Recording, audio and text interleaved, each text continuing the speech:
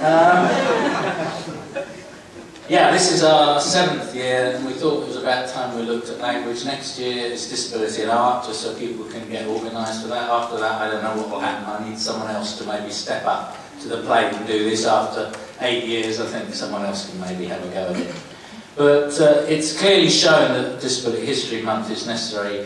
What are we about in Disability History Month? We're about rediscovering our past. We're about learning about the treatment of disabled people over centuries around the world. And we're looking at our achievements and we're looking at what we still have to do to achieve equality in our world. And uh, I think all of those issues are live issues still for disabled people and for all people. In the times we live in now, a few months ago, I couldn't understand how we went in the 1930s towards the populism and fascism. I can now. We're seeing it in America, we're seeing it in Europe, it is happening, and we all have a responsibility to do something about it. Remember, Hitler was elected by the German people. That didn't mean anything because he burned down the Parliament building afterwards. So democracy can be used against itself, and we've just seen that in America I believe we saw it in Britain over Brexit as well. Uh, because I don't think people were informed what that was. For eight years I represented disabled people in Britain on the European Disability Forum. And we got an amazing amount of things out of Europe. Disabled people benefited enormously, as we did on the environment, as the regions did, and yet a region like Wales that got huge amounts of subsidy voted to come out. There was no sense in all of this, so I agree with Micheline that we have to understand our history better in order that people are more informed to make better choices and decisions. So on disabled people, let's go back to ancient Greece. The Greeks believed in two sides uh, of people, that beauty had two forms. Uh, kalos, meaning beautiful, body beautiful, symmetry good, and kakos, meaning bad, grotesque, asymmetrical, and ugly.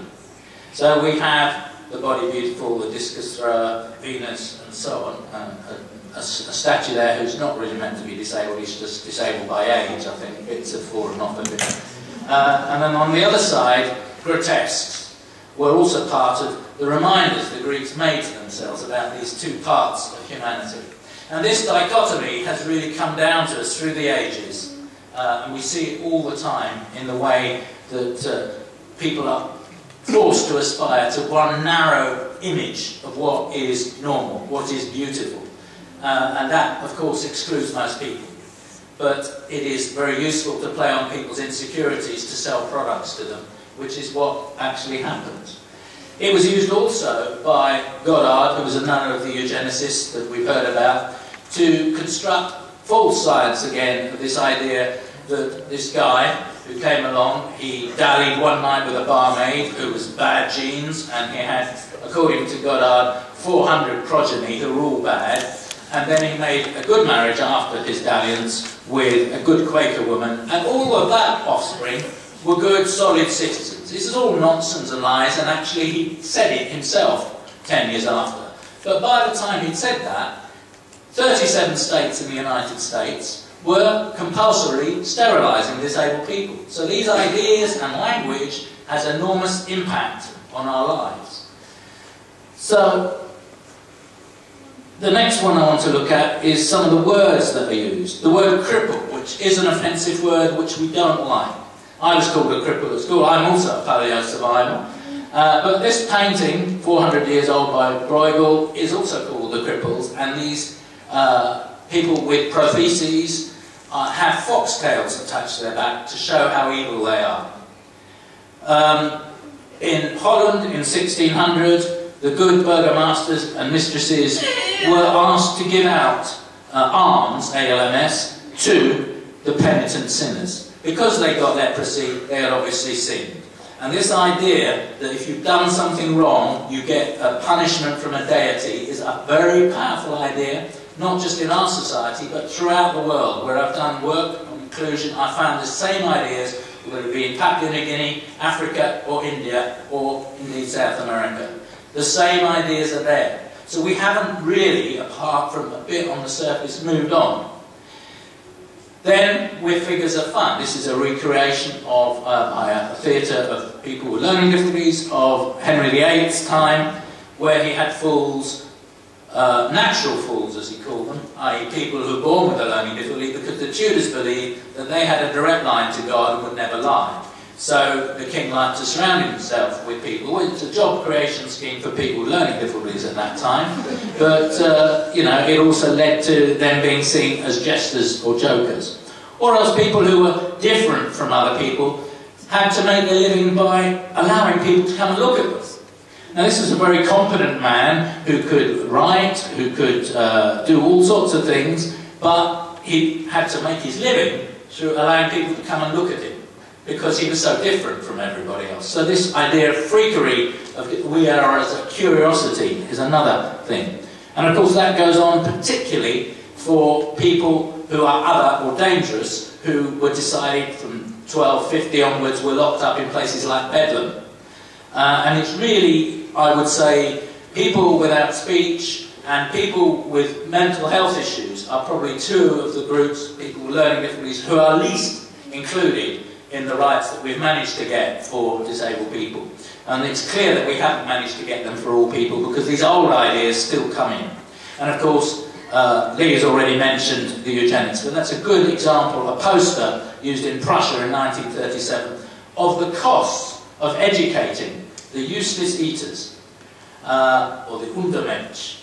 Uh, and this was up on billboards all over Germany, which allowed people to give up their children uh, for mercy killing, as Hitler called it, uh, annihilation, more than one million over the greater German Reich. Um, but of course, we didn't always just accept this. We've always resisted. I told a story this morning, uh, no, I didn't, but I'll tell it now, of a, of a leper colony in Norfolk where the abbot was very mean to the lepers and wouldn't uh, give them their portion of charity that they'd come to expect uh, in a place called Somerton in Norfolk. And so they rebelled, burned down the leper house, and attacked uh, all their uh, imprisoners for treating them badly. So resistance has always been part of our existence against the oppression put upon us. These uh, disabled veterans from the First World War, were very proud and refused to be called uh, and joined something called the League of the Brave Young Things and said, no, we are handicapped, because at that time it was a positive word. We've gone on since to say, no, we don't actually like the word handicapped, but at that time it was. Or um, over on the other side here, a, a march to Trafalgar Square of blind, unemployed workers fighting for the right to work and a decent wage, the same as everybody else, because they were doing the same work. Now, they had three marches that converged on London. And indeed, in the end, they did get the 1920 Blind Act, but just to show they were outside their place in society, they were attacked in Trafalgar Square by mounted police on a blind person's march. Quite hard to believe, but it happened. Or here, an advert about Europe again during the Maastricht talks. How did The Guardian, interesting, we're in their building, uh, portray uh, Britain, Great Britain, as a wrecked person in a wheelchair, because of course, if you're in a wheelchair, it's a metaphor for uselessness. Is it? We don't think so, but they put it forward, and here we have seven uh, activists from North London who came up and held up their sign saying, Women in wheelchairs are powerful, The Guardian has got it wrong. And cartoonists throughout time, particularly in the 18th century, have used our outer image to make general political points. And it's very important literary language or graphic language that is used. Another place that we hit back was telethon. We've just had Children in Need, which uh, I found some of the coverage pretty appalling in terms of not rights, but we all have to give more and more money for children who should be getting these rights. Uh, but in 1991, some people here I can see who were on it, we had a, a, a shutdown of London Weekend Television. It was the second one, and uh, they no longer put it on because there was too much pressure on them.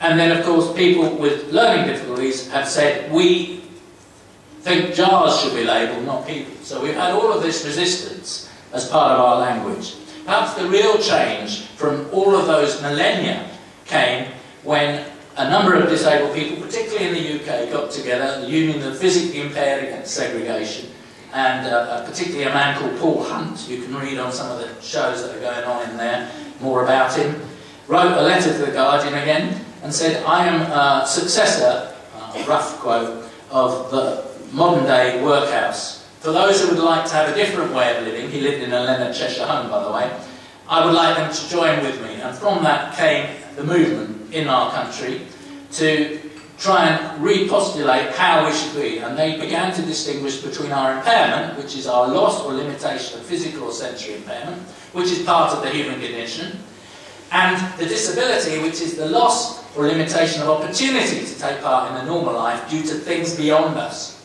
the barriers, the sorts of things that Penny was talking about. If you cut back sign language, well then you can turn around and say, well deaf people can't do anything, because you take away their means of communication. So, reclaiming disabled people is one of the things we've done. In the UK, the right word to use for disabled people is disabled people, not people with disabilities. Because if you call us people with disabilities, it's like we're the people with the barriers. And we can't be the people with the barriers because the barriers are coming from beyond us. They never understood that in the United States, and so that is now the language of the UN Convention on the Rights of Persons with Disabilities. But it's wrong, and we know it's wrong.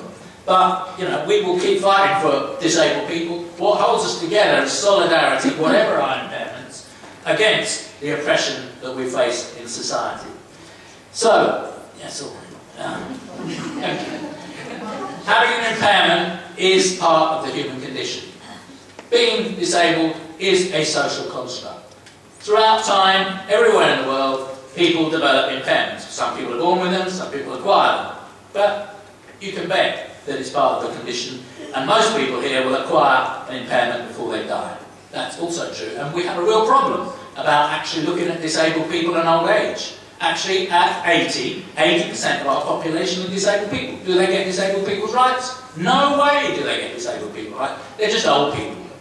So that's going to be another battle that I think probably our generation will fight as we get older and older. And say, no, we are disabled people, and we're old people, and we have rights.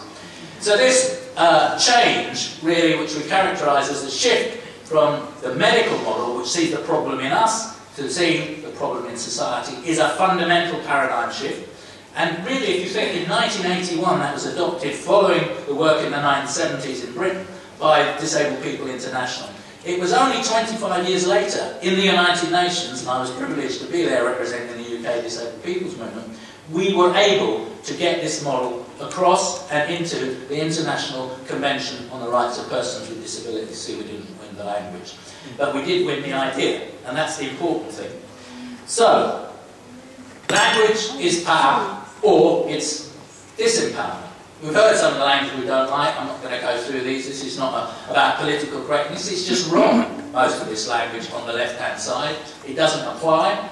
We're not handicapped or crippled. We're not idiots, retards, mongs, imbeciles, victims, sufferers, vulnerable. Favourite one with politicians today. Deaf or dumb. Nutters, maniacs, insane, crazy, spastic or spaz.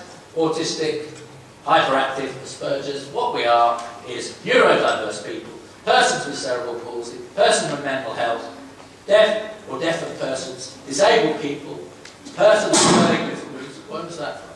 Uh, persons with physical impairments, but all of us, including the deaf community, are in the end part of the disabled people's movement, and we are fighting a common battle.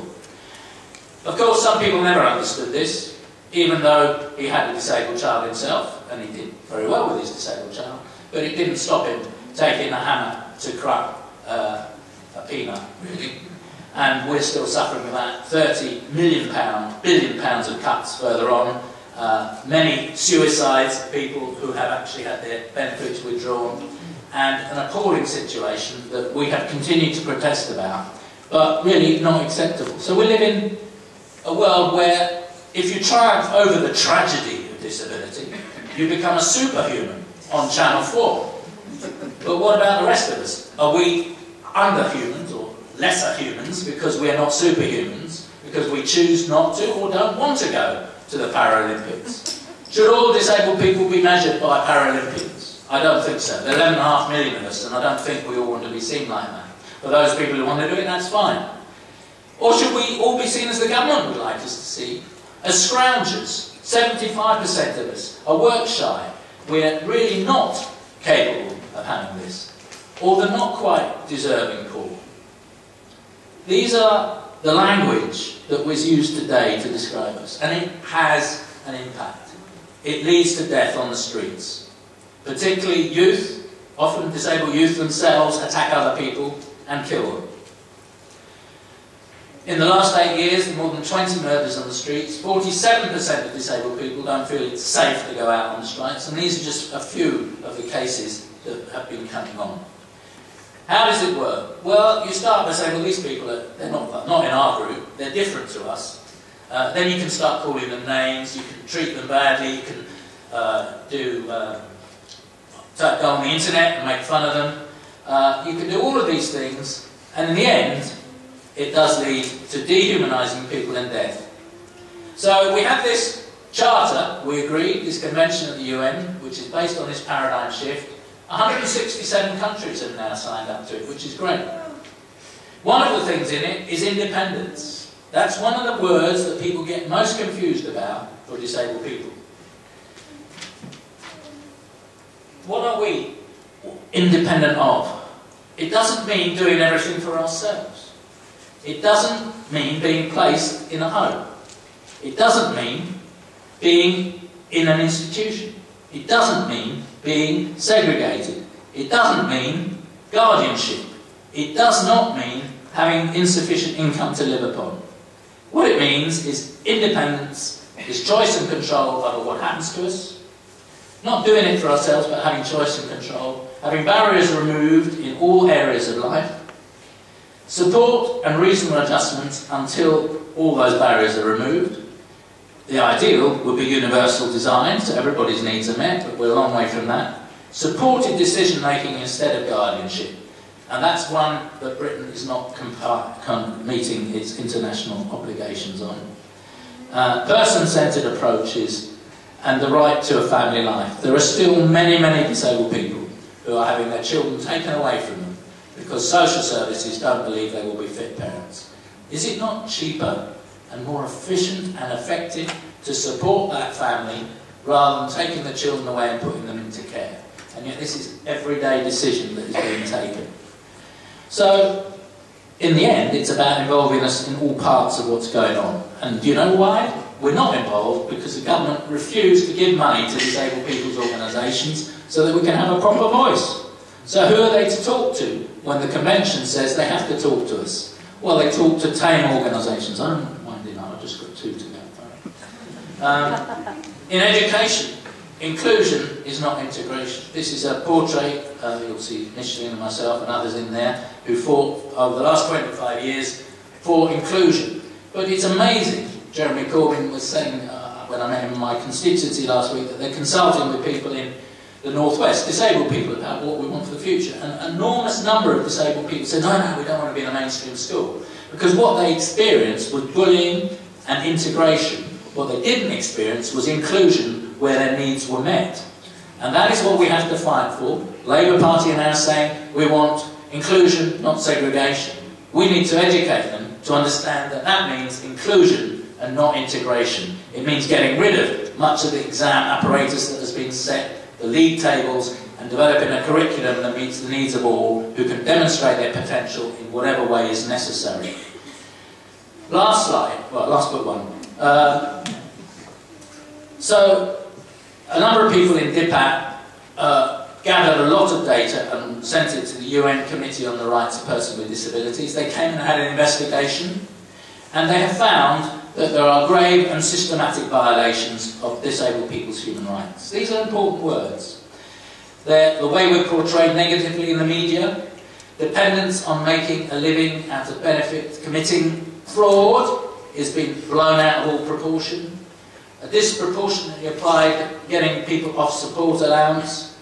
A whole series of things. And as you can see there, disabled people have borne the brunt of the cuts. So I'll end on this. We need to keep protesting. Need to celebrate on this slide's remembrance of Debbie Jolly, who was one of the founders of Disabled People Against the Cuts. It was she who gathered much of the information, which the UN committee didn't just accept, it cross-checked it with 2,000 other sources in the UK, and yet ministers have been going out all over the place saying, oh, it's all nonsense. We're very nice to disabled people in this country. Well, just talk to any disabled person, you'll find that people, we don't think that they are very nice to us, and it's about time that people uh, got the right language, but also got the message behind the language is that we need solidarity from all of you. We need to take this message out for this year's Disability History Month across the country. We've got lots of events happening. That language does matter, but behind the language comes the thought about our rights to be as human as everybody else. And that's why this month is important. Thank you.